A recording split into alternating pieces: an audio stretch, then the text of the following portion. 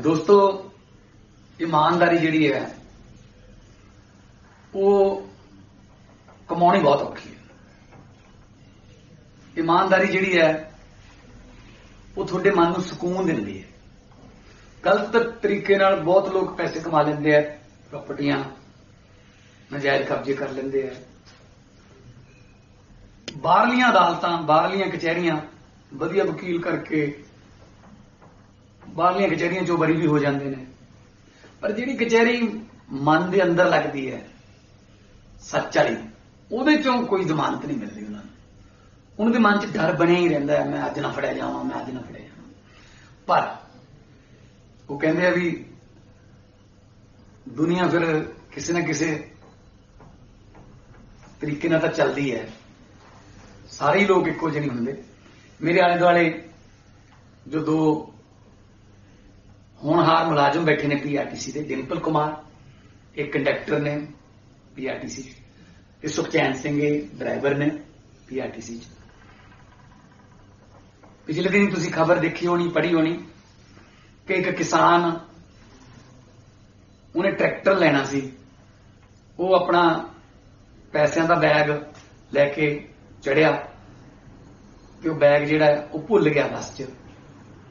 ਬੱਸ ਅੱਗੇ ਚਲੀ ਗਈ।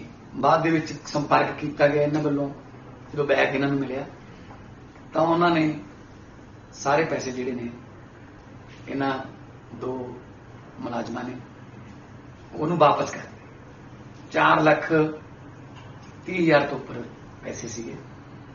ਤੇ ਬਾਕੀ ਇਹ ਦੱਸਣਗੇ ਕਿ ਕਿਵੇਂ ਉਹ ਹੱਡ ਬੀਤੀ ਕਿਵੇਂ ਹੋਇਆ ਉਹ ਘਟਨਾ, ਤੇ ਇਹਨਾਂ ਨੇ ਕਿਵੇਂ ਅੱਜ ਦੇ ਜ਼ਮਾਨੇ 'ਚ ਇਮਾਨਦਾਰੀ ਦੀ ਇੱਕ ਮਿਸਾਲ ਪੈਦਾ ਕੀਤੀ। ਮੈਂ ਡਿੰਪਲ ਕੁਮਾਰ ਜੀ, ਪਿੰਡ ਮੇਰਾ ਕਰਾਚੀਆ ਡਿਸਟ੍ਰਿਕਟ ਸੰਗਰੂਰ ਦੇ ਵਿੱਚ। ਮੈਂ ਪੀਆਰਟੀਸੀ ਦੇ ਵਿੱਚ ਪਿਛਲੇ 6 ਸਾਲਾਂ ਤੋਂ ਜੌਬ ਕਰ ਰਿਹਾ ਜੀ।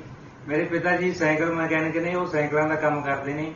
ਤੇ ਪਰ ਮੈਨੂੰ ਉਹਨਾਂ ਨੇ ਸਿਰਫ ਇੱਕੋ ਹੀ ਗੱਲ ਦੱਸੀ ਹੈ ਵੀ ਨੇਕੀ ਦੇ ਰਾਹ ਤੇ ਚੱਲਣਾ ਹੈ, ਬੇਸ਼ੱਕ ਅੱਧੀ ਰੋਟੀ ਖਾ ਲਓ, ਜਿਹਦੇ ਨਾਲ ਤੁਹਾਡੇ ਮਨ ਨੂੰ ਸਕੂਨ ਮਿਲੂਗਾ।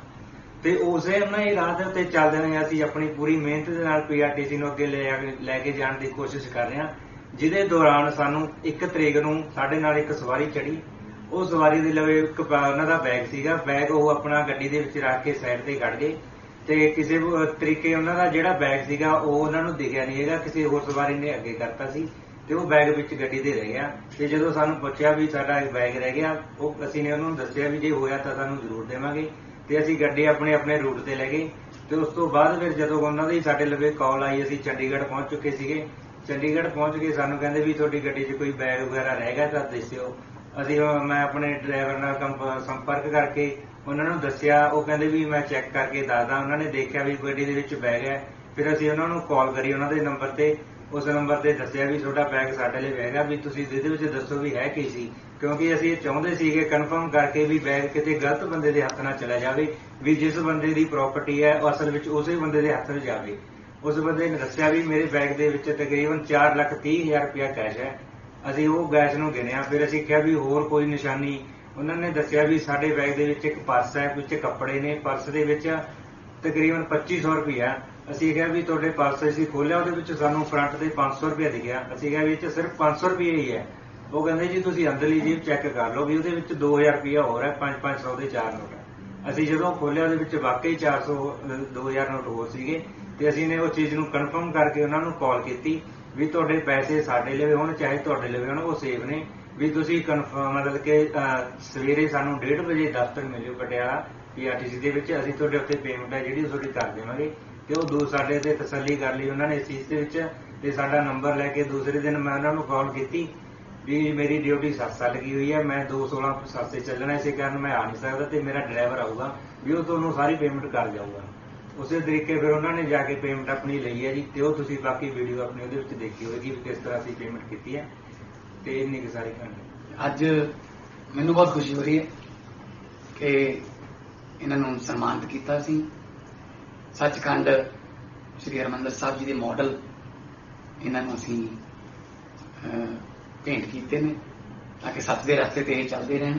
ਸਾਡੇ ਗੁਰੂਆਂ ਨੇ ਵੀ ਸਿਖਾਇਆ ਤੇ ਮੈਂ ਦੋਨੇ ਮੁਲਾਜ਼ਮਾਂ ਦੀ, ਇਹਨਾਂ ਦੇ ਅਫਸਰਾਂ ਦੀ, ਮੈਂ ਬਹੁਤ ਸ਼ਲਾਘਾ ਕਰਦਾ।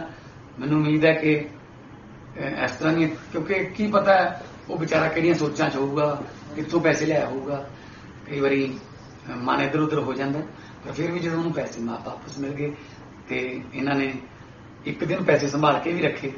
ਸੋ ਇਸ ਗੱਲ ਲਈ ਮੈਂ ਇਹਨਾਂ ਦੀ ਸ਼ਲਾਘਾ ਕਰਦਾ ਤੇ ਪੰਜਾਬ ਸਰਕਾਰ ਵੱਲੋਂ ਇਹਨਾਂ ਨੂੰ ਇੱਕ ਪ੍ਰਸ਼ੰਸਾ ਪੱਤਰ ਵੀ ਮਿਲੂਗਾ ਤੇ ਇਸੇ ਤਰ੍ਹਾਂ ਡਿਊਟੀ ਕਰਦੇ ਰਹਿਣ ਤੇ ਲੋਕਾਂ ਦੀ ਸੇਵਾ ਕਰਦੇ ਰਹਿਣ। ਸਤਿ ਸ਼੍ਰੀ ਅਕਾਲ।